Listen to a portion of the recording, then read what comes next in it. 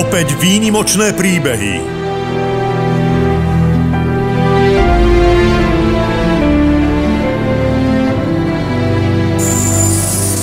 Tá situácia je hrozná. Opäť veľká pomoc vplyvných. No, bol rozložený. Ideme búrať.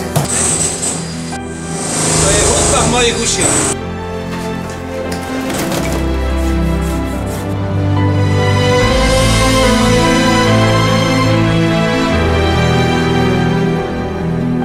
Opäť navrátená radosť zo života. V siedmom nebi je späť.